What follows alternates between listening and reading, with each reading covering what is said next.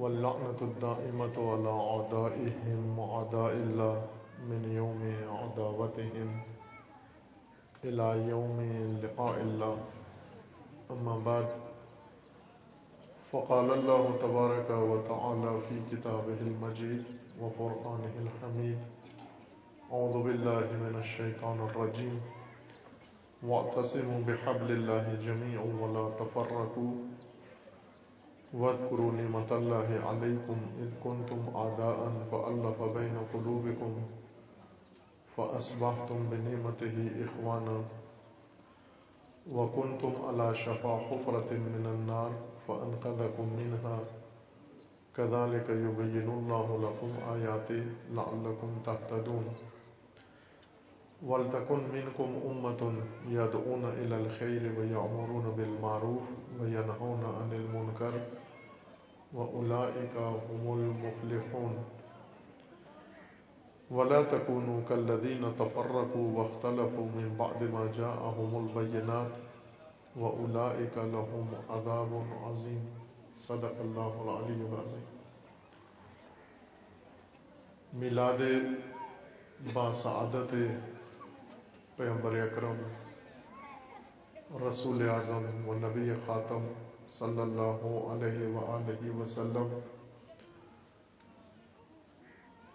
और मिलाद गिरामी जाफ़र आल मोहम्मद, हज़रत इमाम जाफ़र सादिक वस्सलाम।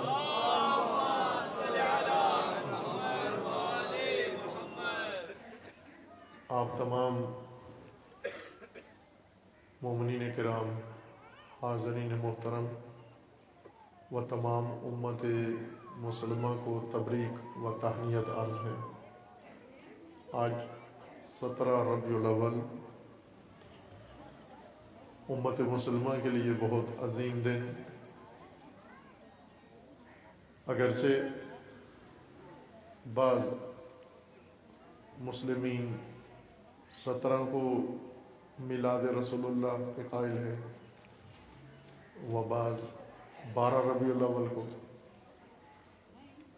उलमाए अहल सुन्नत अक्सर बारह रबी अव्वल को रसूलुल्लाह की मिलाद का दिन समझते हैं। बाज़ शिया भी बारह रबी अव्वल के ही कायल है। बहुत बुज़ुर्ग उलमा जिस तरह मरहूम कुलैनी व शेख तूसी और इस सतह के बाज़ बुजुर्गान हैं। उनके नज़दीक भी मिलाद का दिन बारह रबी अव्वल है। लेकिन मशहूर इमामिया के यहाँ, शिया के यहाँ सत्रह रबी अव्वल है। यानी आज का दिन बारह से सत्रह अयाम मिलाद रसूलुल्लाह है और उम्मत मुसलमा के अंदर जश्न, सुरूर और महफिल मिलाद मुनद होती हैं। एक मुसलमान के लिए इससे बड़ा खुशी का दिन और इससे बड़ी ईद नहीं हो सकती, चूँकि इसी रोज़ खुदावन तबारक वाली ने अपनी सबसे बड़ी नेमत बशरीत को अता फरमाई और वो वजूद गिरामी पैम्बर अक्रम सल्लल्लाहु अलैहि है। और आज दोहरी खुशी इस हवाले से भी है कि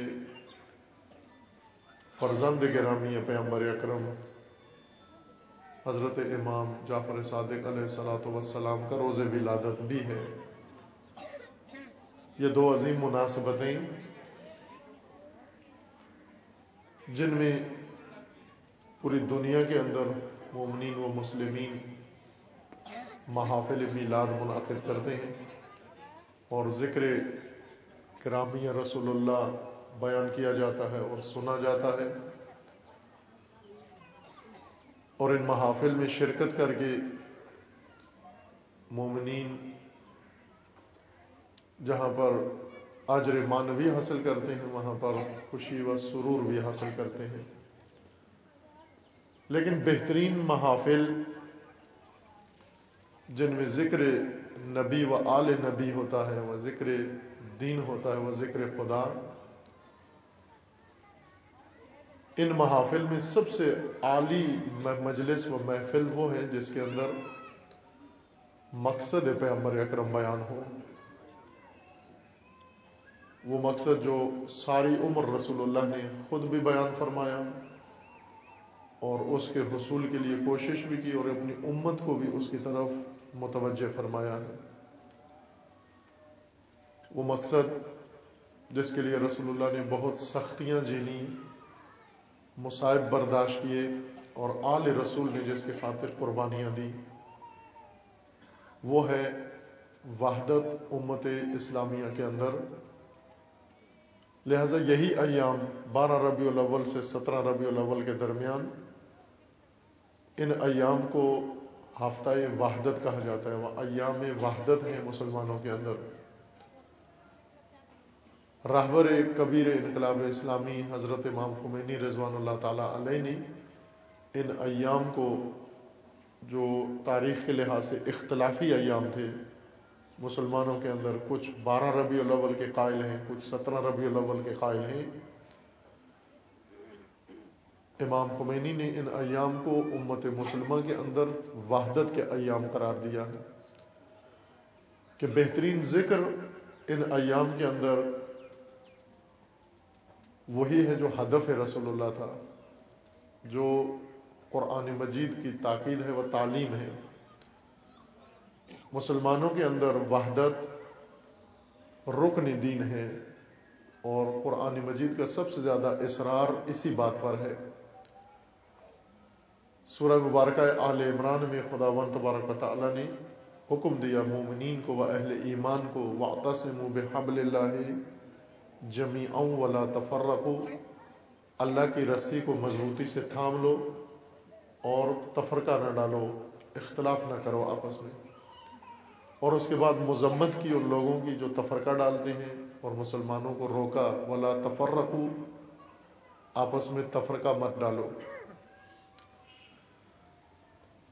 वो महफिल भी खूब हैं जिनके अंदर ज़िक्र दीन हो, ज़िक्र नबी हो, ज़िक्र आल रसूल हो और मोमिन उस ज़िक्र से मसरूर हों, वो खुश हों, लेकिन उन मजालस से ज़्यादा, वो मजालस ज़्यादा अजर के लिहाज से और दर्जे के लिहाज से बालातर हैं, जिन मजालस के अंदर रसूलुल्लाह खुश हो।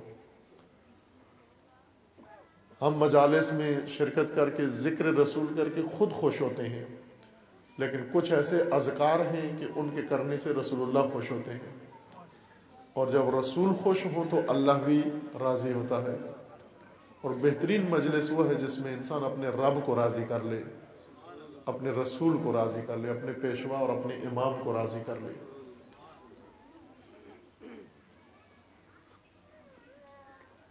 वहदत रसूलुल्लाह का पहला कदम है जो मदीने में दाखिल होने के बाद मदीने के रहने वालों के अंदर रसूलुल्लाह ने ईजाद की। मक्का इसलिए छोड़ा कि अहल मक्का के अंदर वहदत का इम्कान नहीं था मुतफिक नहीं हो सकते थे, मुसलमान भी नहीं हो रहे थे और आपस में इत्तेहाद के भी कायल नहीं थे। इसलिए खुदा ने हुक्म दिया कि इस बस्ती को छोड़ दे। ये बहुत मुकद्दस है मक्का, जहाँ रसोल्ला की विलादत बासादत हुई। और अपना मकाम व महल विलादत छुड़ा दिया खुदा ने क्या रसूल, इस महल से चले जाएँ आप, और आबादी में चले जाएँ, मदीना में चले गए। मक्का मदीना से ज़्यादा मुकदस था। काबातुल्ला व बैतुल्ला मक्का के अंदर था। मस्जिद हराम मक्का के अंदर है। हज़रत इब्राहिम ने जो घर बनाया, अल्लाह का वो मक्का के अंदर है। खुद हज़रत की विलादत मक्का में हुई, आबा व अजदाद मक्का में मुकीम थे। लेकिन ये आबाई शहर व इलाही सरजमीन खुद खुदा ने छुड़ा दी क्या रसूल इस मक्का से निकल जाए आप। ये मुनासिब नहीं है, मौजू नहीं है। इसलिए कि जिस मकसद के लिए आपको मबूस किया है, वो मकसद इस वक्त मक्का में हासिल नहीं हो सकता, लेकिन मदीना में हो सकता है। मक्का में कुरैश अरब का सबसे बड़ा कबीला आबाद था। और मदीना में औस व खजरज और यहूद नसारा आबाद थे। यानी मुशरकिन और अहल किताब। उनको तरजीह दी औस व खजरज और अहल किताब को रसूलुल्लाह ने तरजीह दी कुरैश के ऊपर। उन्हें जाकर आपस में भाई बनाया, वो बन गए। और वो अनसार रसूलुल्लाह कहलाए। औस खजरज जो दुश्मन थे एक दूसरे के साथ। इन्हीं सूरह मुबारक आल इमरान की इन आयात में अल्लाह ताला ने फरमाया कि वद कुरु इज़कुन तुम आदा फ़ल्लफ़बैन क़ुलूबिकुम। याद करो तुम उन अयाम को कि जब तुम आपस में दुश्मन थे और खुदा ने तुम्हारे दिलों में उल्फत व मोहब्बत डाल दी और तुम भाई बन गए। इसलिए रसूलुल्लाह ने उनको तरजीह दी कि वो दुश्मनियाँ खत्म करके भाई बनने के लिए तैयार थे। लेकिन कुरैश और मक्का के रहने वाले वो इस अमर के लिए तैयार नहीं थे। अजीजान, आज ये सरजमीन, ये ममलिकत पाकिस्तान, जिसमें अक्सरियत मुसलमान रहते हैं, मुख्तलिफ़ फ़िरक़ों से ताल्लुक़ रखने वाले, लेकिन अफसोसनाक हद तक मकसद रसूलुल्लाह से दूर हैं। आज हम महाफिल मिलाद मुनद करके अपनी खुशी का सामान बना लेते हैं, अपने सुरूर के लिए इंतज़ाम कर लेते हैं। लेकिन यही उम्मत और यही मिलत जो जश्न मिलाद मुनद करती है, इसके हाथों रसूलुल्लाह खुश नहीं है। रसूलुल्लाह उन चीज़ों से खुश नहीं होते जिनसे हम खुश होते हैं। हम बहुत मामूली चीज़ों से खुश होते हैं। कोई अच्छी तकरीर हो जाए, हम खुश हो जाते हैं। अच्छा खाना पका के दे दे, हम खुश हो जाते हैं।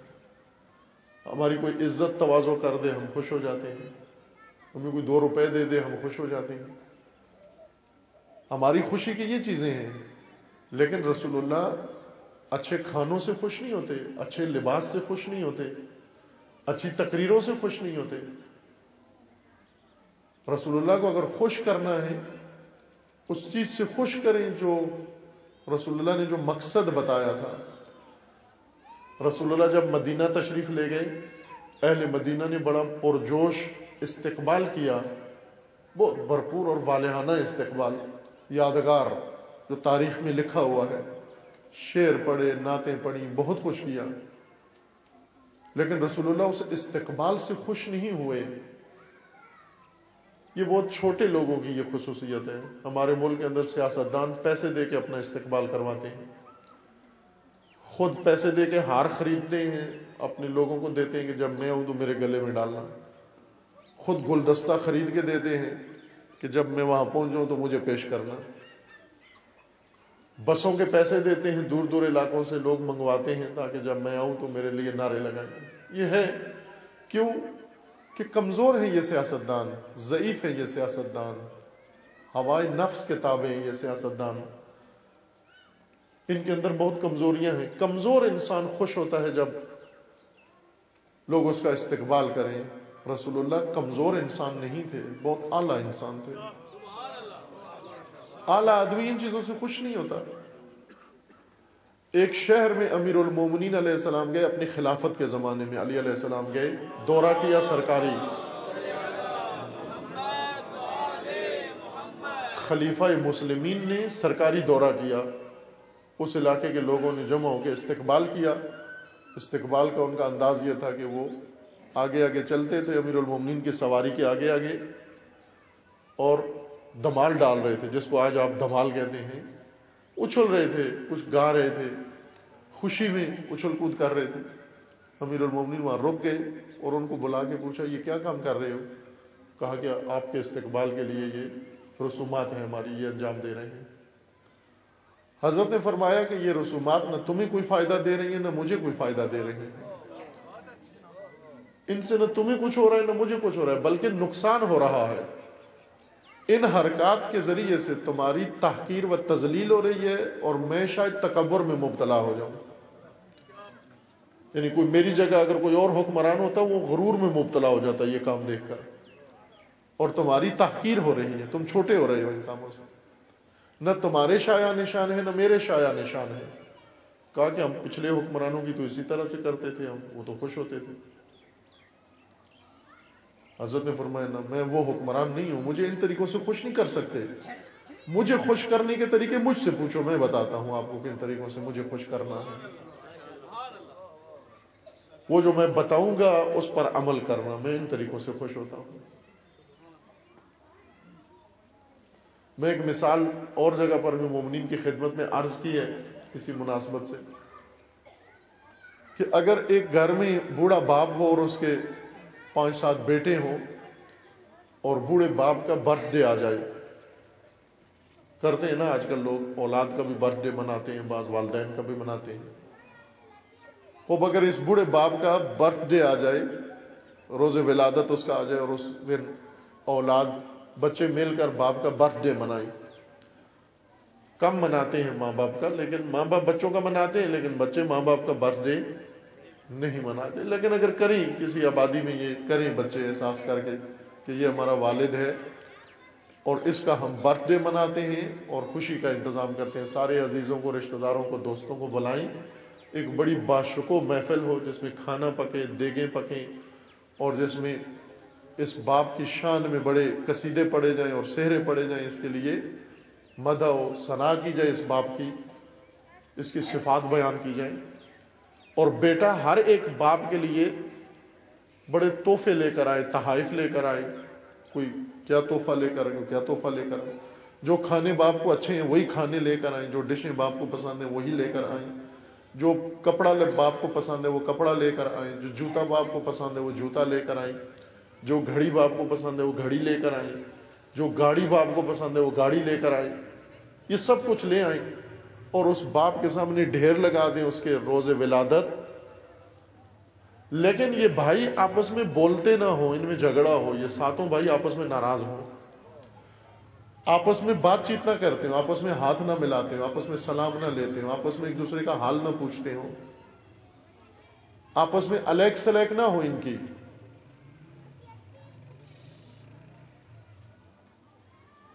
लेकिन बाप के लिए बहुत हदिये लेकर आए। आप ये बताएँ कि उस उस बर्थडे को बच्चे तो बहुत खुश हैं क्योंकि देग भी चढ़ी हुई है और मिठाइयाँ भी आई हुई हैं और केक भी आ गया है। और महफिल भी सजी हुई है और सब इंतज़ाम है खुशी का, बच्चों की खुशी का सारा इंतज़ाम है। बाप के सामने तोहफों का ढेर लगा हुआ है, लेकिन बाप का दिल टूटा हुआ है, वो मुस्कुराता भी नहीं है। क्यों नहीं मुस्कुराता? इसलिए नहीं मुस्कुराता कि उसके दिल में रंज है कि मेरे बच्चे आपस में नाराज़ हैं एक दूसरे से। बाप को अच्छे खाने, हलवे और बिरयानियाँ खुश नहीं करती। बाप को बेटों का गले मिलना खुश करता है। उसे कुछ भी ना दो, लेकिन उसके सामने भाई जब आपस में एक दूसरे का एहतराम करें, बाप का दिल खुश हो जाता है। वो कहता है, मैं इस दुनिया से जाऊँगा, अब आसूदा जाऊँगा, क्योंकि मुझे मालूम है कि मेरे बेटे एक दूसरे का ख्याल रखेंगे। एक दूसरे के दुख दर्द में शरीक होंगे, एक दूसरे की मुश्किलात में एक दूसरे के काम आएँगे। लेकिन अगर बच्चे आपस में बातचीत ना करते हो, एहतराम ना करते हो, लड़ाई झगड़ा करते हो वो न बिरयानी उसके नीचे अलग से जाती है, ना हलवा उसके जाता है, ना आइसक्रीम जाती है, ना केक जाता है। वो कहते मैं इन चीज़ों को क्या करूँ? ये जो तोहफे तुम मेरे लिए आए हो, लाए हो। जब तुम आपस में बातचीत नहीं करते तो मेरे लिए इतना इंतज़ाम किस लिए किया है तुमने? ये बाप नाराज़ होता है बच्चों के हाथों। अजीजन हम ये सोचें, हम रोज़े मिलाद रसूलुल्लाह व रोज़े मिलाद इमाम सादिक इकट्ठे होकर अगर कसीदे पढ़े, नबी की बारगाह में नाते पढ़े, इमाम की बारगाह में कसीदे पढ़े और तकरीरें करें और खुशियाँ मनाएँ और तबरुकात पकाएँ और देगे चढ़ाएँ और एक दूसरे को मुबारक कहें, लेकिन मोमनीन मोमिन के साथ उलझे हुए हो, शिया सुन्नी के साथ लड़ रहा हो, शिया शिया के साथ लड़ रहा हो, सुन्नी सुन्नी के साथ लड़ रहा हो, और उम्मत ये लड़ती हुई उम्मत, ये झगड़ती हुई उम्मत, ये एक दूसरे की दुश्मन उम्मत, ये उम्मत सब मिल के जश्न मना रही हो रसूल की मिलाद का। रसूल खुश होंगे इन चीज़ों से। अगर रसूलुल्लाह को खुश करना है, पहले रसूलुल्लाह से पूछ लें कि, या रसूलुल्लाह, आप बताइए हम किस, आप किस चीज़ से खुश होते हैं? आप कैसे खुश होंगे? चूँकि हर एक को खुश करने का अलग तरीका होता है। अब किसी को खुश किया जाता है किसी और चीज़ से। बस मजालिस होती हैं, उस मजलिस में मजलिस पढ़ने वाले को खुश करने का क्या तरीका है? उसकी मजलिस में नारे ज़्यादा लगे दाद ज़्यादा दे, वो खुश हो जाता। आखिर में उसको फ़ीस दे दे वो खुश हो जाता। है शुरकाय मजलिस कैसे खुश होते हैं? एक तो मजलिस बड़ी चटपटी हो, चुटकले हो उसमें अच्छे, टुटके हो। और दूसरा ये कि तबरुक उसमें अच्छा हो, शुरका मजलिस भी खुश हो जाते हैं। बानी मजलिस कैसे खुश होता है? जब रश बहुत हो हाउसफुल हो, वो भी खुश हो जाता है। लोग बहुत ज़्यादा शिरकत करें, बानी खुश, तकरीरें बड़ी चटपटी हों शुरका खुश, और नारे ज़्यादा लगे, खतीब खुश। लेकिन ये सुनो कि ये मजलिस जिनके नाम पर है, मजलिस हुसैन है, बानी भी खुश, खतीब भी खुश शुरका मजलिस भी खुश तो हुसैन से भी पूछ लो कि आप भी खुश हुए इस मजलिस से या नहीं हुए?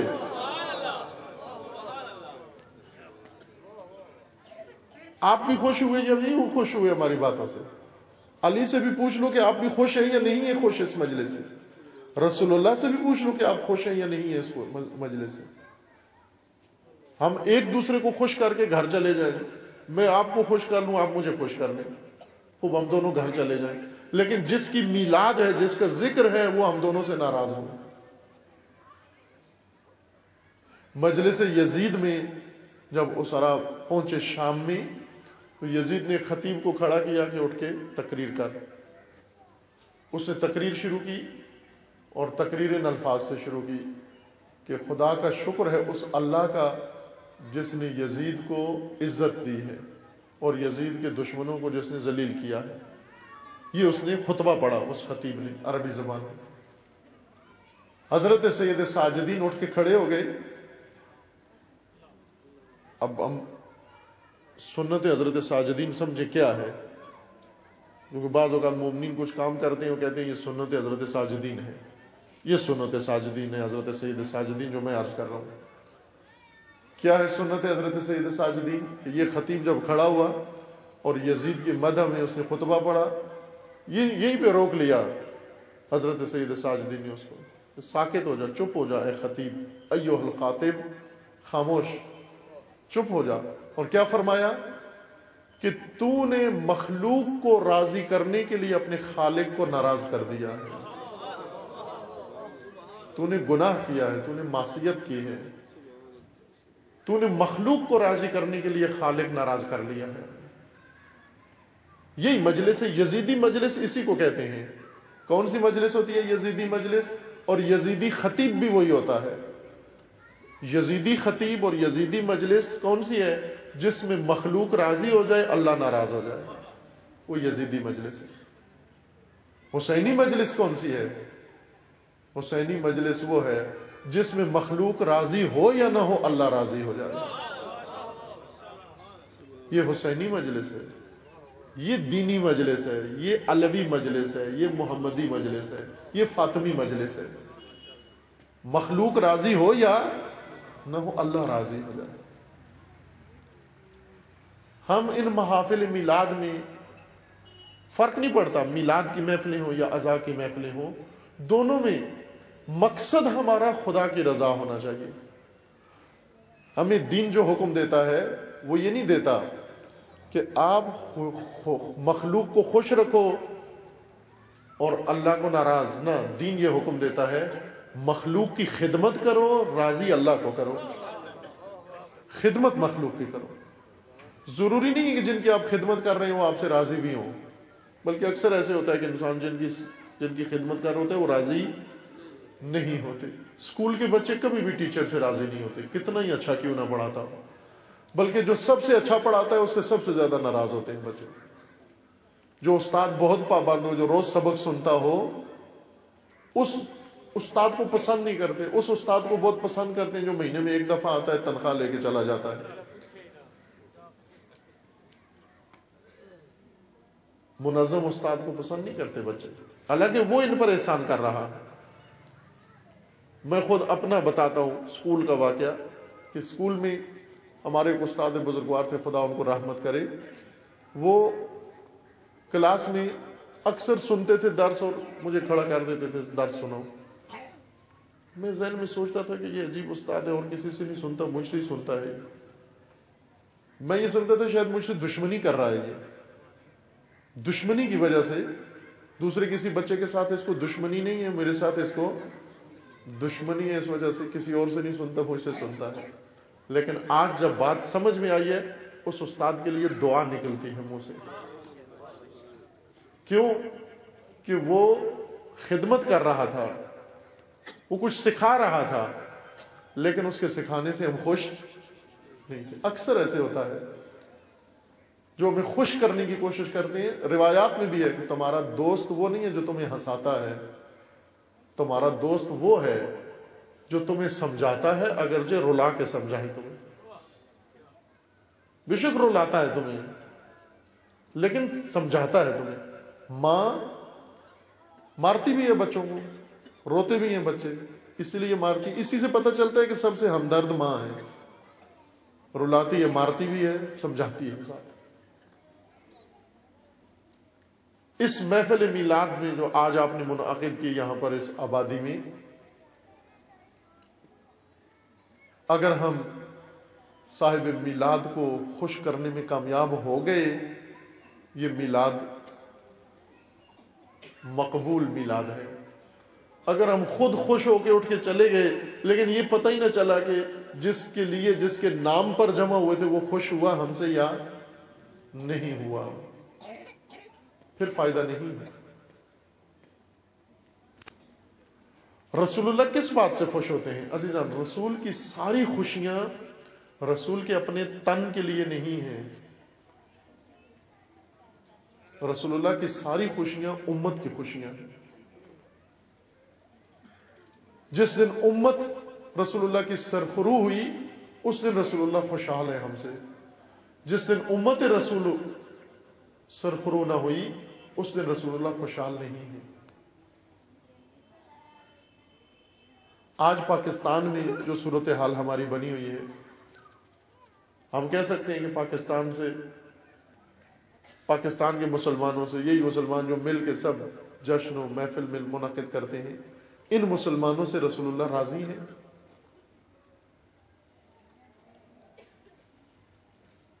ज़िक्र रसूलुल्लाह का हो, लेकिन उम्मत रसूल के अंदर तफरका डाले इंसान, दिल दुखाए। मुसलमानों के मुकदसात की बेहरमती करे। कतन रसूलुल्लाह राज़ी नहीं है इस बात से। बेहतरीन हदिया व तोहफा आज के दिन रसूलुल्लाह की बारगाह में।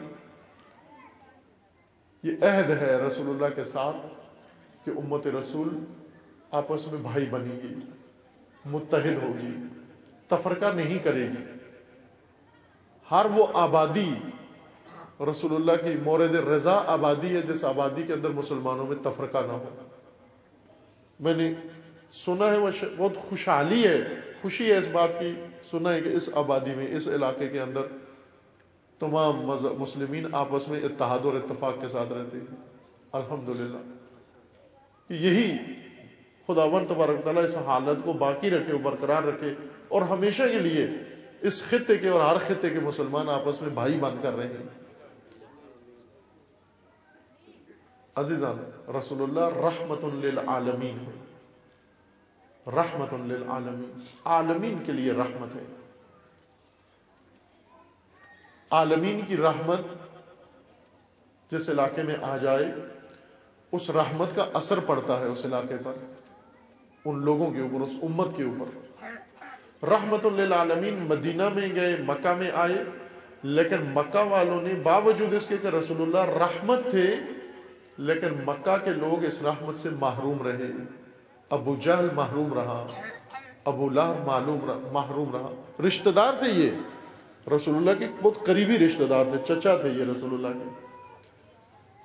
लेकिन घर के अंदर जो खुदा ने रहमत उतारी थी, इस रहमत से महरूम थे। और ये रहमत मक्का से चली गई मदीना। मदीना में यहूदी भी मौजूद थे, रहते थे। नसारा भी मौजूद थे। और औसो खजरज भी मौजूद थे बुत प्रस्त ये रहमत खुदा वहाँ पर चली गई। यहूद नसारा पहले से अंबिया के पैरोकार थे, आसमानी किताबों को मानने वाले थे तो इंजील पढ़े हुए थे। और उन्हें बताया गया था कि हमारे बाद एक नबी आएँगे, नबी खातम, और उनके फजाइल, यहूद नसारा मुंतजर थे, इंतज़ार में थे कि हमारे नबी आने वाले हैं। लेकिन ये रहमत आलमीन जब मक्का, मदीना में दाखिल हुए, यहूद जो मोमिन थे, व नसारा जो मोमिन थे, ये रहमत खुदा से महरूम हो गए। और औस और खजरज बुतप्रस्त, वो रहमत खुदा के ताबे हो गए, मुसलमान हो गए। यहूद और नसारा आज तक मुतहद नहीं हो सके मुतफिक नहीं हो सके। सिर्फ़ एक चीज़ पर मुतफिक है, मुसलमानों की दुश्मनी में। मुसलमानों के खिलाफ मुतफिक है यहूद और नसारा। लेकिन बाकी किसी चीज़ पर इतफाक नहीं है उनका। मदीना में बुतप्रस्त थे ओसो खजरज। ये तैयार हो गए, आपस में भाई बन गए। इनमें दुश्मनियाँ थी आपस में। औस खजरत जंगजू थे, एक दूसरे के साथ जंगों में मशगूल थे। पुरानी मजीद की यही आयात जो आपकी खिदमत में पड़ी है, इनका मजमून यही है। वद कुरु इज़ कुन तुम आदा अनफबैन कुलूबकुम। याद करो तुम उस मंजर को जब तुम आपस में दुश्मन थे खुदा ने तुम्हारे अंदर उल्फत और मोहब्बत डाल दी। याद करो उस जमाने को। ये दुश्मन थे, दोस्त बन गए, दुश्मन थे, भाई बन गए, दुश्मन थे मुहिब बन गए, दुश्मन थे एक दूसरे के करीब हो गए, और वो करीब थे एक दूसरे के, लेकिन दुश्मन हो गए। इसलिए उनके यहाँ रहमत आलमीन का नजूल नहीं हुआ। वो रहमत आलमीन से महरूम रहे और औस खजरज अंसार और रसूल बन गए। यहूद दुश्मन रसूल। बाई के यहूद दीनदार थे, नसारा दीनदार थे। तो रात इंजील उनके पास थी। लेकिन उसके बावजूद वो महरूम हो गए। वो दुश्मन रसूल कहलाए। कुरान मजीद ने लानत की, खुदा ने लानत की यहूद नसारा पर। सिर्फ़ इस वजह से कि रसूल के दुश्मन बन गया हालाँकि पहले से इनको तैयार किया गया था। रसूलुल्लाह के इस्तकबाल के लिए, रसूलुल्लाह को कबूल करने के लिए, रसूलुल्लाह पर ईमान लाने के लिए, कुरान को मानने के लिए इनको बताया गया था। इनके ऊपर मेहनत की गई थी। लेकिन जब रसूलुल्लाह तशरीफ़ ले गए, इन्होंने नहीं माना। ये दुश्मन रसूल थे। यहूद अदूब बन गए रसूलुल्लाह के। और जो बुतपरास थे, वो रसूलुल्लाह के अंसार बन गए। अंसार और रसूल। मदीना के अंदर दो तबके रहते थे, महाजरीन और अंसार। महाजरीन वो मुसलमान थे जो मक्का से हिजरत करके गए थे और अंसार वो मुसलमान थे जो मदीना के अंदर ही थे और जिन्होंने रसुल्ला की खातिर अपना सब कुछ छोड़ दिया बुत छोड़ दिए बुत परस्ती छोड़ दी। जो कुछ रसुल्ला ने फरमाया वो उन्होंने अपना लिया। ये अंसार और रसूल कहलाए। ये बड़ा इबरत का वाक्य है अजीजान हमारे लिए कि यहूद और नसारा जो मोमनीन थे वो रहमत आलमीन से दूर हो गए और जो बुतप्रस्त थे वो अंसार और रसूल बन गए। ये उन कौमों के लिए इबरत का मकाम है, जिनको खुदा ने शरफ ईमान दिया है, जो मोमिन कहलाए हैं। कि कहीं ऐसा ना हो कि आज भी मुसलमान जो उम्मत रसूल कहलाते हैं, मिल्लत रसूलुल्लाह कहलाते हैं, अपने दरमियान तफरका डालें, नफरत डालें, दूरियाँ इख्तियार करें, लड़ाई और झगड़ा और निजा करें और रहमत आलमीन इनके अंदर ना आए और रहमत आलमीन उस कौम में चले जाएँ जो और तबका वो मुसलमानों से बाहर हो और वो अनसार और रसूल कहलाए। हर नस्ल के अंदर अंसार रसूल होने चाहिए। अनसार और रसूल कौन है? जिनको रसूल भाई बनाए, वो भाई बन जाए। जिनको रसुल्ला कहें, दुश्मनियाँ खत्म करो, वो दुश्मनियाँ खत्म कर दें। लेकिन वो जो नमाजें भी पढ़ते हैं वो जो तौरात भी रखते हैं, वो जो इंजील भी रखते हैं, वो जो अंबिया के भी पैरोकार हैं, लेकिन रसूलुल्लाह की बात नहीं मानते, ये दुश्मन रसूल हो जाएँगे खुदा की बारगाह में। अल्लाह ताला नारों को नहीं देखता। अल्लाह ताला मेयारात को देखकर रसूलों की उम्मतें बनाता है। कौन उम्मत रसूल बनेंगे वह कौन नहीं बनेंगे? ये नहीं देखा जाएगा। यहूद नारे बहुत लगाते थे रसुल्ला के आने से पहले। सबसे ज़्यादा नारे यहूद लगाते थे रसुल्ला के बारे में। बल्कि बुत परस्तों को यह कहते थे कि अनकरीब हमारे रसूल आने वाले हैं, वो रसूल जब आ जाए, फिर हम तुम्हें मज़ा सिखाएँगे, मज़ा चखाएँगे तुम्हें। बुत परस्तों को ताने देते थे बुत परस्तों पर फख्र करते थे ये कि हमारे रसूल आने वाले हैं। वही रसूल जब आ गए बुत परस्तों ने मान लिया, यहूद ने नहीं माना। नारे ज़्यादा लगाते थे यहूद, लेकिन भाई नहीं बने। किसी के साथ उखुवत के रिश्ते में मुंसलिक नहीं हुए। रहमत आलमीन उस बस्ती में जाते हैं, उस माशरे में जाते हैं, उन लोगों के अंदर जाते हैं, जहाँ पर लोगों के अंदर आपस में उखुवत हो, मोहब्बत हो, उल्फत हो। वरना रसूलुल्लाह ऐलान बरात व ऐलान दूरी करेंगे कि मेरा इस कौम से कोई ताल्लुक नहीं। जिनके अंदर रिश्ता बरादरी व उखुवत नहीं है। ये अयाम अयाम मिलाद रसूल, अयाम वहदत मुस्लिमीन है। अयाम इतिहाद बैन मुस्लिमीन है। हम रसूलुल्लाह की मिलाद मनाकर भी मिलाद में ऐसा तस्करा करें जिससे खुद मुसलमानों पर ही हमला हो। ठीक है, हर एक एक अपना अकीदा है। अपना अकीदा है, अपने अकीदे को रखे अपने पास। और उसको दूसरे पर न ठोसे मुतालबा भी ना करे कि तुम मेरे अकीदे के मुताबिक अमल करो। जो जिसका अकीदा है उसके मुताबिक अमल करें जो मेरा अकीदा है, मैं अपने पास रखूँ, जो आपका अकीदा वो आप अपने पास रखें। जो चीज़ें मुश्तरक हैं, उन्हें एक साथ अमल करें। जो चीज़ें में मुश्तरक नहीं है, इख्तलाफ है, उन्हें अपने अपने तौर पर अमल करें। एक दूसरे पर ठोसे नहीं एक दूसरे का दिल ना दुखाएँ। एक दूसरे की दिल आजारी ना करें। इस वक्त पाकिस्तान के अंदर ये चर्चा ज़्यादा है कि कुछ लोग गुस्ताख रसूल हैं, कुछ हरमत रसूलुल्लाह की बेहरमती करते हैं, एहतराम नहीं करते। पाकिस्तान के अंदर ये मीडिया पर और आम महाफिल में ये चर्चा ज़्यादा है। जो लोग नाम रसूलुल्लाह का एहतराम से नहीं लेते, गुस्ताखी व बेअदबी और बेहरमती करते हैं, मुर्ताद हैं। लेकिन उनसे बड़े मुर्ताद वो लोग हैं जो मकसद रसूल को फौत करते हैं, जो मकसद रसूल को जाया करते हैं। मकसद रसूलुल्लाह उम्मत के अंदर इत्तेहाद है, उम्मत के अंदर इत्तफाक है। हम नाम रसूलुल्लाह का बड़ी इज़्ज़त से ले, लेकिन मकसद रसूल को जबा करें हम। उम्मत रसूल में तफरका डालें, नाम रसूलुल्लाह का बड़ी इज़्ज़त से लें। और फिर हम ये कहेंगे, ना, हम तो रसूलुल्लाह का बड़ा एहतराम करते हैं। दूसरे गुस्ताखी करते हैं। सबसे बड़ा गुस्ताख उम्मत रसूलुल्लाह के अंदर वो है जो मकसद रसूल जाया करता है। जो उम्मत के अंदर तफरका डालता है, जो उम्म भाइयों के अंदर नफरत डालता है। मैं वही मिसाल तकरार करूँगा कि अगर एक घर में चार चंद भाई रहते हो और एक आदमी आए चापलूस, उन भाइयों का नाम बड़ी इज़्ज़त से रहे। शाह साहब, खान साहब, चौधरी साहब, आगा साहब, फलां साहब, नाम ले बड़े इज़्ज़त से। लेकिन भाइयों के अंदर निफाक डाले। एक भाई के कान भरे, दूसरे भाई के खिलाफ, उस भाई के कान भरे, इसके खिलाफ। उसको जाकर बहुत इज़्ज़त से बुलाए, इसको इज़्ज़त से बुलाए, लेकिन भाइयों के अंदर नफरत डाल रहा है। आप क्या समझेंगे इस शख्स को?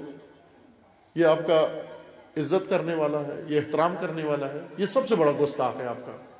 क्योंकि ये सगे भाइयों के अंदर नफरत डाल रहा है। नाम दुरुस्त लेता है, लेकिन काम गलत करता है।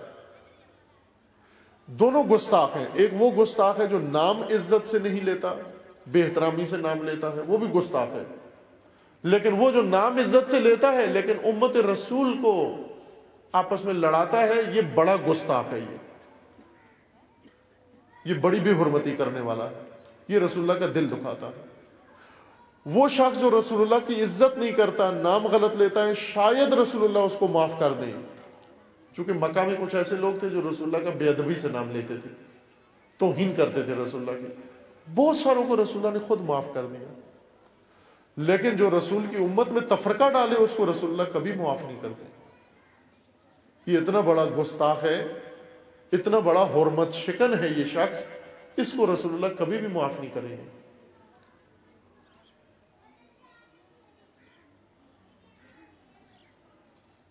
उस वक्त हम हदिया पेश कर सकते हैं बारगाह रसालत में, जब हमारे पास हो कोई हदिया पेश करने के लिए। हम एक शेर लिख के आते हैं, ये हदिया अकीदत है बारगाह रसालत में। हदिया अकीदत के मुंतजर नहीं है रसूलुल्लाह। हम अगर अगर अपना हदिया अकीदत ना भी उधर भेजा, चूँकि हदिया अकीदत हमारे काम आता है रसुल्ला के काम नहीं आता। जो हदिया अकीदत पेश करता है, वो खुद सवाब हासिल कर रहा है। रसुल्ला के काम जो चीज़ आती है, वो हदिया वहदत है। रसुल्ला की खिदमत में हदिया वहदत पेश करे उम्मत का जिस दिन उम्मत रसूल एक हो जाई, हो गई, जिस दिन उम्मत रसुल्ला में इतफाक इतहाद हो गया, उस दिन रसुल्ला इस उम्मत के लिए दुआ भी करेंगे। और रसूल की दुआ यकीनन मुस्तजाब है। अल्लाह ताला कोई दुआ और सुने ना सुने रसुल्ला की दुआ ज़रूर सुनता है। आप सुने अंबिया की दुआएँ पढ़े, कुरान मजीद में अंबिया ने क्या क्या दुआएँ की अपनी उम्मतों के लिए?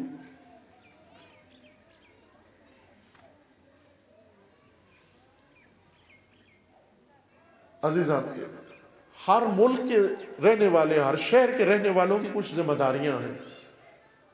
हर शहर के रहने वालों की। जिस तरह हमारी हर घर के अंदर रहने वालों की कुछ जिम्मेदारियाँ हैं, घरेलू जिम्मेदारियाँ। अगर एक शख्स एक घर में रहता हो, जिस हैसियत से रहता हो, औरत हो या मर्द, बाप हो या बेटा, उसकी कुछ जिम्मेदारियाँ हैं। वो आए सिर्फ़ घर में खाए और मूछ मरोड़े निकल जाए घर से बाहर। गैर जिम्मेदार इंसान है। ये घर का कोई अच्छा रुकन नहीं है। फालतू आदमी है। ये बोझ है इस घर के ऊपर। जो घरेलू जिम्मेदारियाँ अपने जिम्मा नहीं लेता हर एक की घरेलू जिम्मेदारियाँ हैं। इसी तरह हम अगर एक मुआशरे के अंदर रहते हैं बस्ती और एक आबादी के अंदर रहते हैं, उस आबादी के अंदर रहने के नाते हमारी कुछ जिम्मेदारियाँ हैं।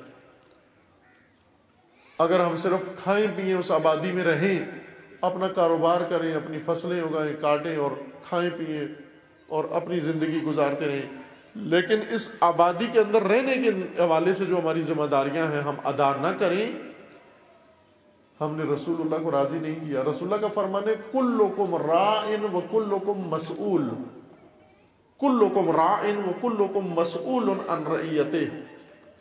तुम में से हर एक जिम्मेदार है, हर एक के ऊपर एक ज़िम्मेदारी है।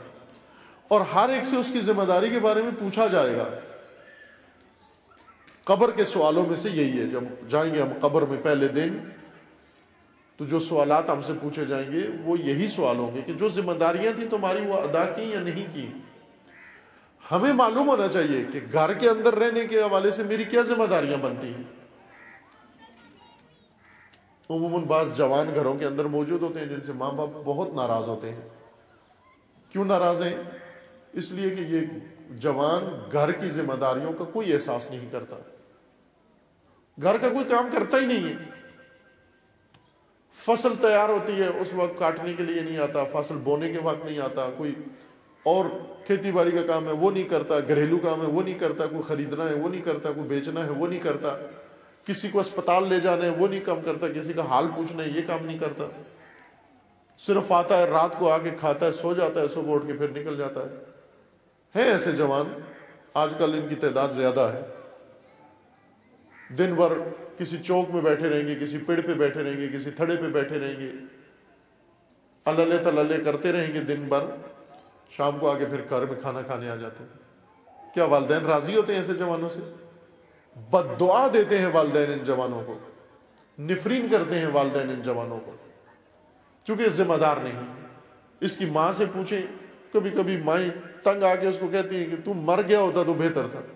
तू पैदा ही ना होता तो बेहतर था। बाप माँ को कहता है कि ये क्या तूने जना है? ताना देता है, माँ को कहता है। वो कहता है कि माँ बाप को कहती है कि जिसका बाप ऐसा, उसका बेटा भी ऐसा ही होता है। एक दूसरे को माँ बाप ताने देते हैं, ऐसे नकम्मे बेटे के ऊपर।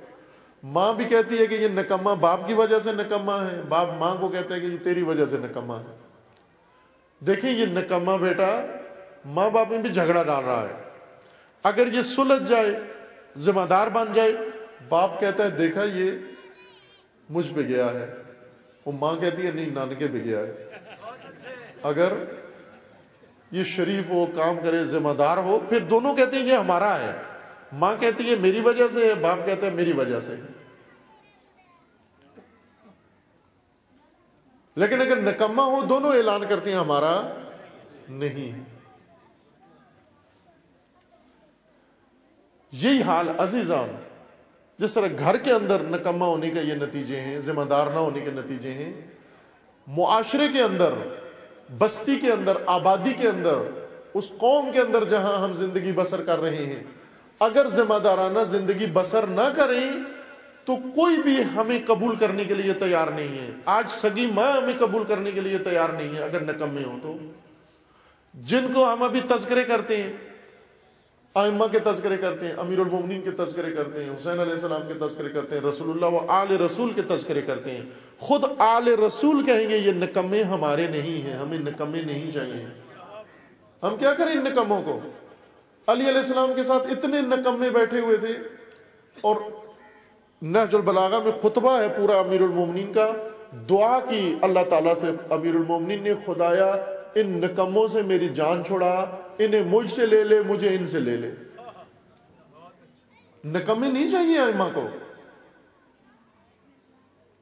हज़रत मूसा ने सबसे पहले दुआ मांगी अल्लाह ताला की बारगाह में। अल्लाह परवरदिगार, ये बनी इसराइल नकम्मे हैं, मुझे नहीं चाहिए ये। इन्हें मुझसे ले ले, मुझे इनसे ले ले। ये नशो बलागा में पढ़े, ये नहीं सुनाते खतीब हमें, क्योंकि हम नाराज़ हो जाते हैं। और खतीबों का भी मकसद हमें राज़ी करना होता है ना, अल्लाह को राज़ी करना। इसलिए ऐसी बातें नहीं सुनाते। शायद आपको अजीब भी लग रही होंगी थोड़ी सी। मालूम नहीं, इससे पहले ऐसी सुनी है या नहीं सुनी। अरज नहीं है, ये भी टेस्ट कर लें। नकम्मी कौमें आइम्मा को नहीं चाहिए, अजीजान। अमीर मोमिन फरमाते हैं, अल्लाहुम्मा कद मलिल तो हूँ व मल्लूनी वसाइम तो हूँ वसाइमूनी ऐ परवरदिगारा, इन नकमों ने मुझे थका दिया है, मैंने इनको थका दिया है। मैं इनसे थक गया हूँ, ये मुझसे थक गए हैं, इन्हें मुझसे ले ले, मुझे इनसे ले ले। ये नहीं कहा, दुश्मनों के बारे में नहीं कहा अमीर मोमिन ने। ये नहीं कहा कि अल्लाह, ये दुश्मन मुझसे कैसे दे दिए? मुझे दुश्मनों से छोड़ा, दुश्मनों को मुझसे छोड़ा ना। अमीर मोमिन उसके आरजूमंद होते थे कि कोई आए पहलवान, मेरे चुंगल में आए, मेरे इख्तियार में आए। पहलवानों को नहीं छोड़ते थे, जंगजुओं को नहीं छोड़ते थे। लेकिन अपने साथियों को कहा, ये नहीं चाहिए मुझे, ये नहीं चाहिए खुदाया, ये नहीं चाहिए मुझे। ये जो तूने दे दिए ये नहीं चाहिए मुझे। मैं इनका इमाम नहीं हूँ। ये सुस्त हैं, ये नकम्मे हैं।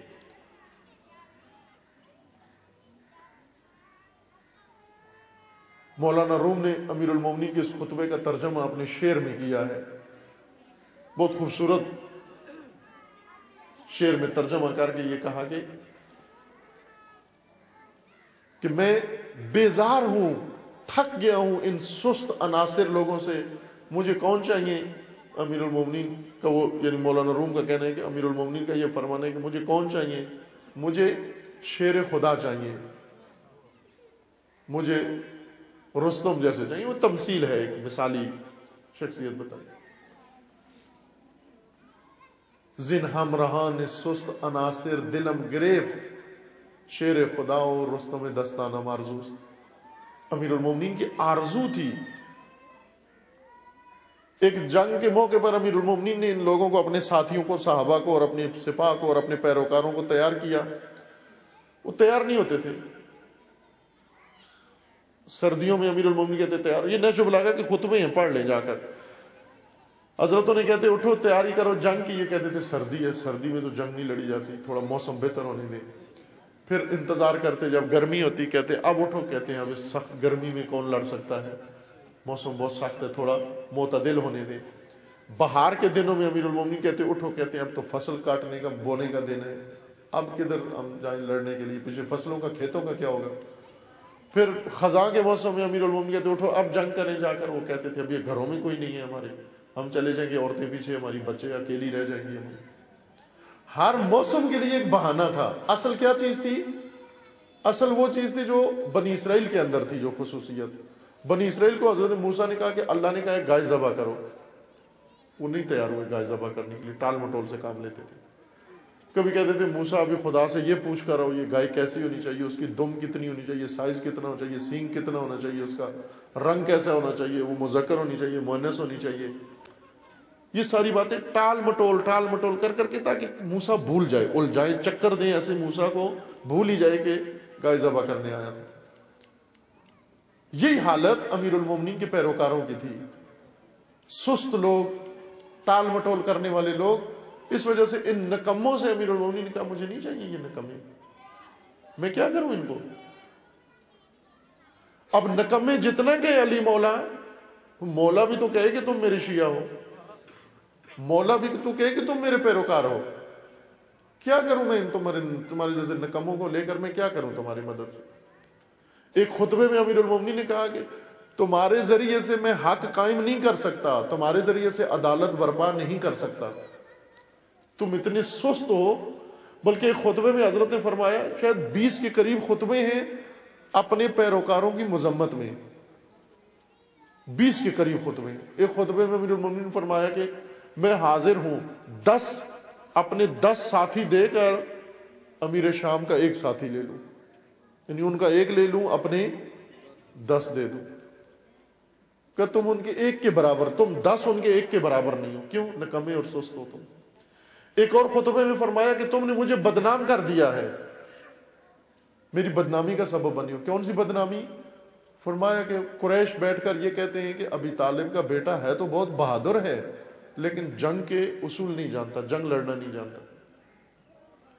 हज़रत फरमाते हैं कि जिसके पास तुम जैसी सिपा हो, तुम जैसे पैरोकार जिसके पास हो, वो ऐसे ही होगा, उसको लोग बदनाम ही करेंगे। एक और खुतबे में फरमाया कि तुम्हारी मिसाल उस फटे हुए कपड़े की तरह है कि जिसको एक तरफ़ से सीता हूँ, दूसरी तरफ़ से फट जाता है। ये तशबियात है जो अमीरमिन ने नशबलागा में अपने पैरोकारों के बारे में दी एक खुतबे में फरमाया कि तुम रेवड़ की तरह हो। ऐसे रेवड़ की तरह जिसको एक तरफ़ से जमा करता हूँ, दूसरी तरफ़ से बिखर जाता है। रेवड़ की ये हालत होती है ना कि वो भेड़ बकरियों का रेवड़ बिखर जाता है। का एक तरफ़ से इकट्ठा करता हूँ, दूसरी तरफ़ से बिखर जाता है। इस कदर गमजदा बातें अमीरुल की रोना आ जाता है। इसलिए बाजुलमा कहते हैं कि अमीरुल ज़्यादा मजलूम है इमाम हुसैन सलाम से। ज़्यादा मजलूम है अमीरुल कि तुम्हें इकट्ठा करता हूँ, दूसरी तरफ़ से बिखर जाते हो तुम। जो काम कहता हूँ, वो करते नहीं हो तुम। मस्जिद में इकट्ठे हो जाते हो अली मौला कहने के लिए। बात मेरी कोई मानते नहीं हो तुम। ऐसे नकम्मों को नहीं लेते, आयमा कबूल नहीं करते। ये सारी मिसालें इसलिए दी अंबिया की और आयमा की कि नहीं चाहिए उनको नकमी को उनको को वोट थोड़ी लेने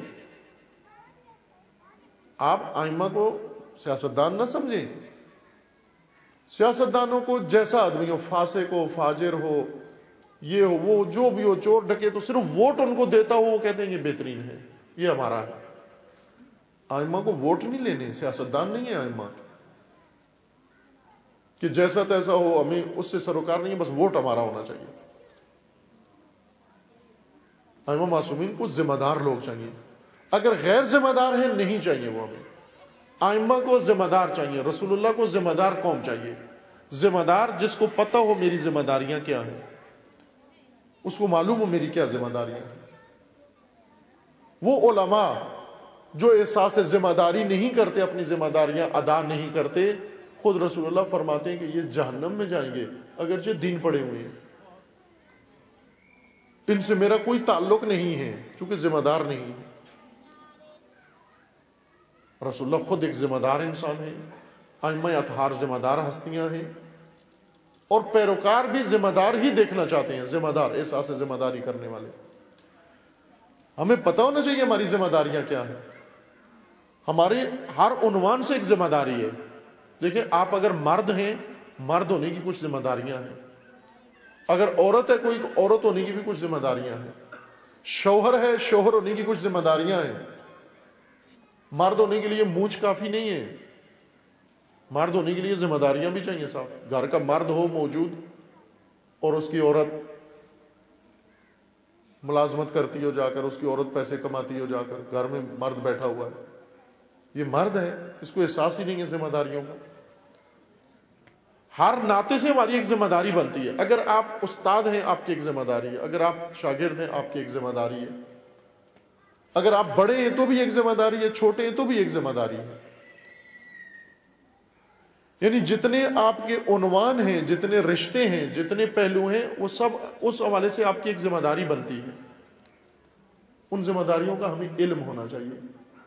इसी तरह मुसलमान होने और उम्मत रसूल होने के हवाले से हमारी ज़िम्मेदारी बनती है।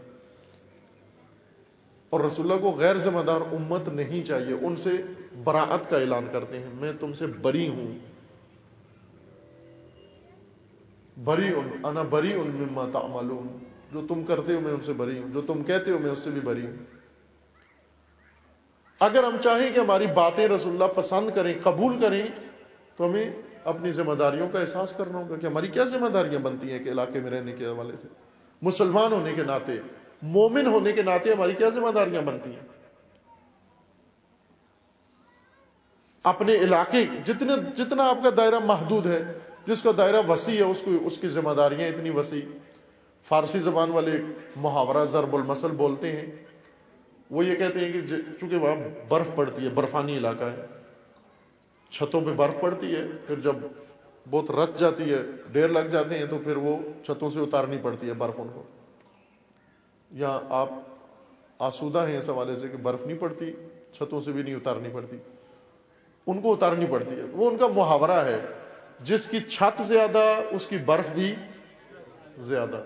यानी जितना बड़ा छत होगा, इतनी ज़्यादा बर्फ़ भी पड़ेगी, इतनी ज़्यादा उतारनी भी पड़ेगी आपको।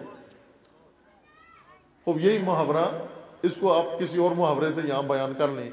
अजीजान, जितना जिसका दायरा अमल ज़्यादा है, इतनी उसकी जिम्मेदारियाँ भी ज़्यादा है।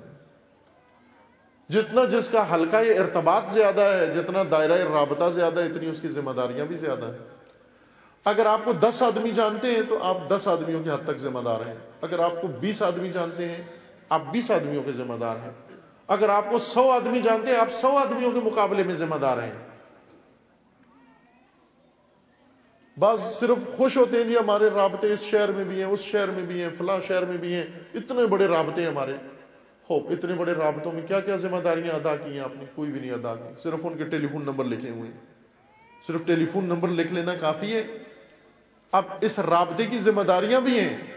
अगर एक आदमी आपसे आशना हो गया है, अगर एक किलोमीटर उसके साथ सफ़र किया है, हम सफ़र होने की जिम्मेदारियाँ हैं। गाड़ी में एक साथ बैठ गए, वो शीशे से बाहर देख रहे आप इधर देख रहे सफ़र करने की जिम्मेदारियाँ हैं। वो ज़िम्मेदारी अदा की है हम सफ़र के साथ? हमें कहा गया नमाज़ जमात पढ़ो, मस्जिद हो नमाज़ जमात पढ़ो। उससे पूछो, आप उसको कुछ बताओ। उसके बारे में आपकी जिम्मेदारियाँ, आपके मुतालिक उसकी जिम्मेदारियाँ मालूम हो कि हम एक दूसरे के साथ जिम्मेदारियाँ हमारी? दीन ये कहता है कि अगर आपके मोहल्ले में कोई बीमार हो गया है, आपकी ज़िम्मेदारी है उसको पूछने जाओ।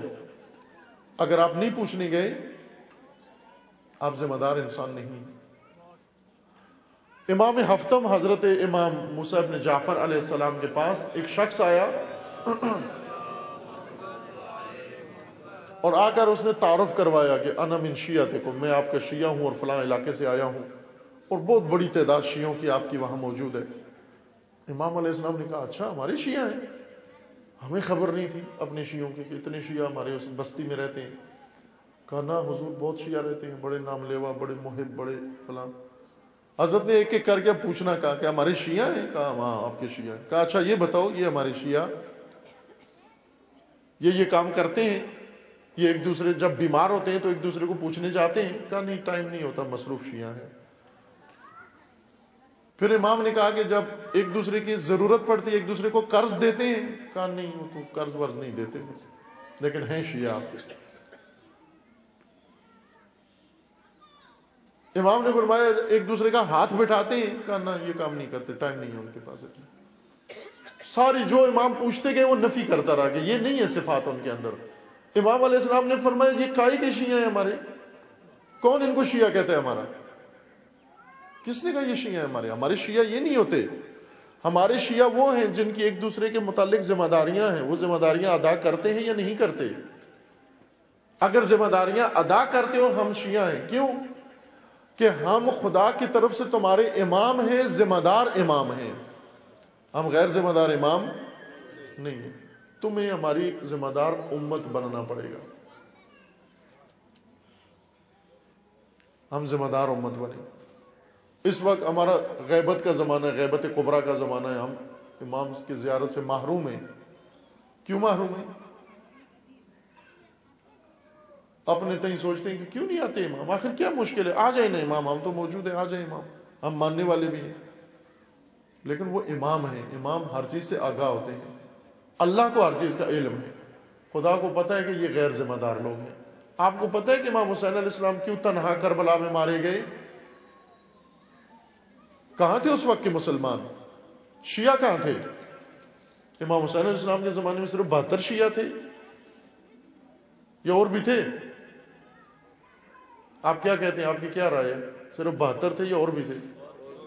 और भी थे। कितने थे? कम से कम बहत्तर हज़ार से ज़्यादा थे। बहत्तर हज़ार से ज़्यादा थे। ये कहाँ थे? ये कौन से शिया थे? ये गैर जिम्मेदार शिया थे। शिया अगर, मुसलमान अगर गैर जिम्मेदार हो जाए, अपने इमाम की शहादत का सबब बनता है। इमाम मूसा काजिम चौदह साल जेल में रहे। कहाँ थे मुसलमान? कहाँ थे शिया? क्यों एहसास ज़िम्मेदारी नहीं किया? यह जुल्म होता है, अजीजान। अगर इंसान जिम्मेदार ना हो, गैर जिम्मेदार मुसलमान दीन को नहीं चाहिए, अल्लाह को नहीं चाहिए, रसूलुल्लाह को गैर जिम्मेदार पैरोकार नहीं चाहिए, आइमा को गैर जिम्मेदार शिया नहीं चाहिए, जिम्मेदार चाहिए। उस ज़िम्मेदारी का हम, हमें इल्म होना चाहिए कि मेरी क्या जिम्मेदारियाँ बनती हैं। कुरान सिर्फ़ हम नहीं कुरान सीखा हुआ नहीं पढ़ा हुआ नहीं है। एक मौलाना रख लेते हैं, जो कोई मर जाए तो वो आकर खत्म पढ़ देता है उसको। कुरान हमने समझा मुर्दों के लिए है, कब्रिस्तानों के लिए कुरान जिंदों के लिए जिंदों के लिए। सिर्फ़ सवाब पहुँचाने के लिए नहीं है, हमें इंसान बनाने के लिए है। कुरान के अंदर जो कुछ लिखा हुआ है, हमारी जिम्मेदारियाँ हैं। कुरान हमें अपनी जिम्मेदारियाँ बता रहा है कि ये जिम्मेदारियाँ हैं आपकी। हर उम्मत को क्यों इमाम चाहिए? ताकि वो इमाम उनको उनकी जिम्मेदारियाँ बताता रहे कि ये ये तुम्हारी जिम्मेदारियाँ किसी जगह अगर लेबर लगाते हैं, उनके ऊपर सुपरवाइजर लगाते हैं, फोरमैन होता है, किस लिए होता है? ताकि उनको बताए कि ये तुम्हारी जिम्मेदारियाँ मुतद जिम्मेदारियाँ, हमारी इनफरादी जिम्मेदारियाँ, घरेलू जिम्मेदारियाँ, इजतमाही जिम्मेदारियाँ, मुआशरती जिम्मेदारियाँ दीनी जिम्मेदारियाँ, तालीमी जिम्मेदारियाँ, ये सब जिम्मेदारियाँ हैं हमारी। हम ये समझते हैं कि सिर्फ़ एक मजलिस में शिरकत करके मुसलमान हो गए, दो राकत की नमाज़ पढ़ के मुसलमान हो गए, ये चंद बातें करके सुन सुना के मुसलमान हो गए। यूँ नहीं है हकीकत। हमें 24 घंटे वो जिम्मेदारियाँ जो अल्लाह ने बयान की हैं, उनको समझना और उनको अदा करने का नाम इस्लाम है, उनको अदा करने का नाम मुसलमानी है। हम उतने मुसलमान हैं जितनी जिम्मेदारियाँ अदा कर रहे हैं। जितनी जिम्मेदारियाँ अदा नहीं कर रहे, उतने मुसलमान नहीं है। और आयमा बरात का ऐलान करेंगे, जिस तरह हम मुंतजर बैठे हुए कि शायद हम जाएँगे और आयमा बड़े खुश होंगे, वोटर आ गए हमारे। और अल्लाह से कहेंगे कि ये अगरचे गुनाकार हैं, लेकिन इनको जाने दो, पास कर दो, जन्नत जाने दो, चूँकि वोटर हैं अपने। आयमा को वोटर नहीं चाहिए। आयमा को पैरोकार चाहिए, जिम्मेदार लोग चाहिए। लिहाजा अगर फरिश्तों ने, पहले तो फरिश्ते भूल चूक करते ही नहीं है। अगर फरिश्ते किसी गैर जिम्मेदार को जन्नत की तरफ़ लेके भी जा रहे होंगे आयमा आके रोक देंगे कि इनको रोक दो, इसको वापस करो ये। ये जन्नत के काबिल नहीं है। इसके लिए अलग ठिकाना बना हुआ है। ये नहीं है हम में से। जो गैर जिम्मेदार है वो हम में से नहीं है। कितनी रिवायात है मासूमीन की तरफ़ से ऐसी कि जो गैर जिम्मेदार है वो हम में से नहीं है। शिया होने का माना ही जिम्मेदार होना है। शिया होने का माना। लुगवी माना शिया का जिम्मेदार होना है। शिया यानी जिम्मेदार। एक अहम तरीन ज़िम्मेदारी जो आज की मुनासबत से, आज के दिन की मुनासबत से और इन अयाम की मुनासबत से, जिसके लिए मैंने कुरान की आयत पढ़ी, जिसके ऊपर ताकीद रसूलुल्लाह व सीरत आयमा अतहार है, वो है अजीजान वहदत। वातसमु बेहबल्ला जमीअन। अल्लाह की रस्सी को सब मजबूती से थाम लो। हमने क्या किया? अल्लाह की रस्सी के साथ कसाइयों वाला काम किया है। टोके लेकर आ गए। जिस तरह होता है ना कि शमलात होती है, किसी जगह दरख्त है, गवर्नमेंट का दरख्त है कुलाड़ियाँ टोके लेकर आ जाते हैं या एक एक शाख काट के ले जाते हैं। हमने अल्लाह की रस्सी को शमलात समझ कर काट काट के किसी ने अपनी मस्जिद में ले गया, एक अपने इमाम बरगाह में ले गया, दूसरे अपने इबादत गाह में ले गया, तीसरा अपनी मजलिस में ले गया। अल्लाह की रस्सी काट काट के टुकड़े कर लिए और टुकड़े अपनी मस्जिदों में ले गए, अपने हलकों में ले गए और समझ गए थे हमने अल्लाह की रस्सी ले आई। ये अल्लाह की रस्सी पे जुल्म किया है। अल्लाह की रस्सी को काट कर अपने घर नहीं लाना, अपने घर से निकलकर अल्लाह की रस्सी को जाकर थामना है। सब मिलकर थामना है, जमीयन सबने मिलकर थामना है।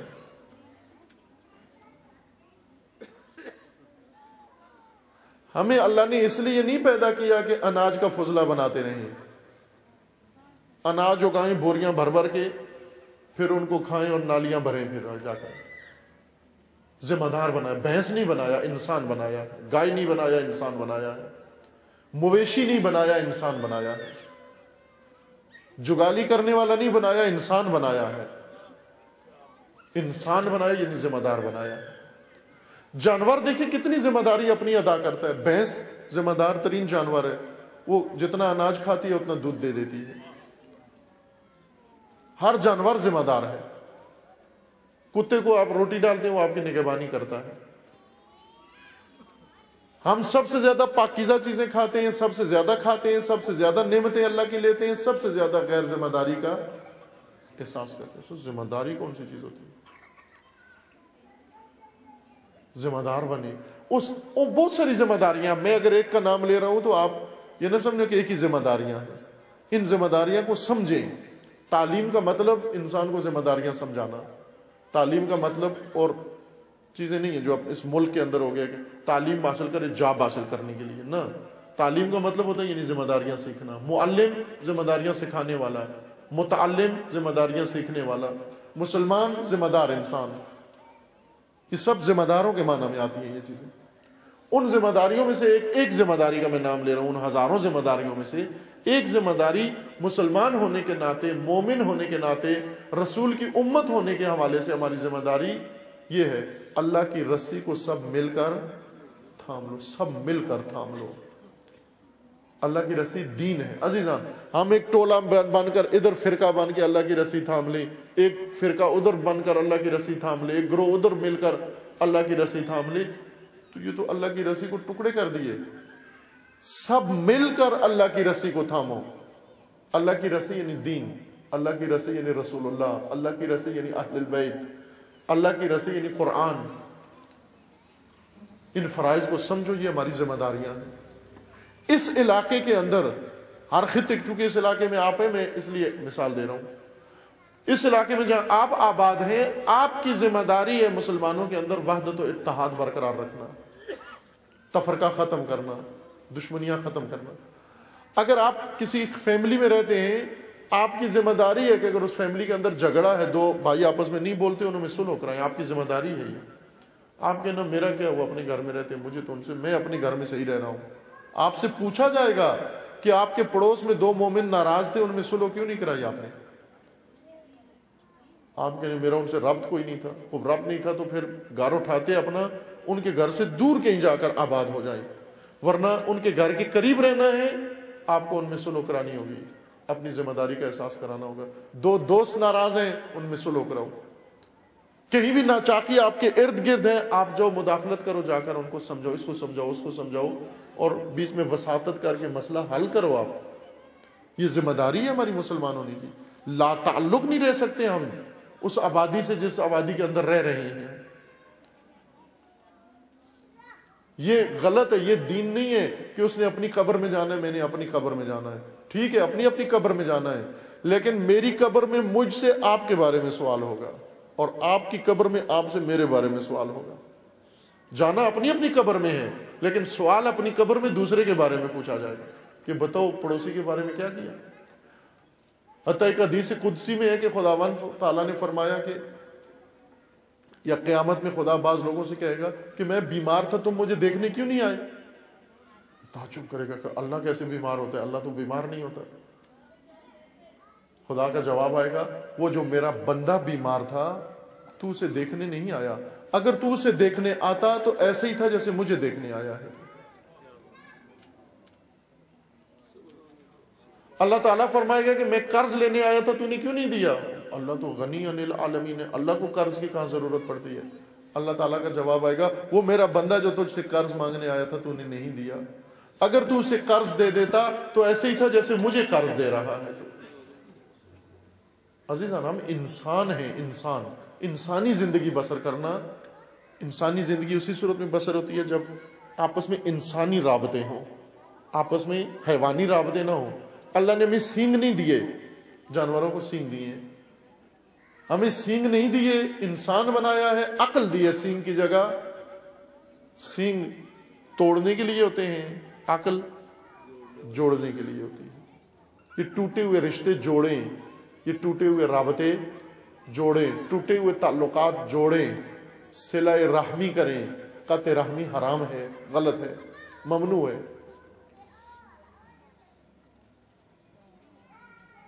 ये तोहफे अगर हम बारगाह रसालत में पेश करें, रसूलुल्लाह हमसे राज़ी होंगे। वरना मैं दो नाते पढ़ दूँ, दो तकरीरें कर दूँ, दो चुटकले लगा दूँ, दो टोटके लगा दूँ।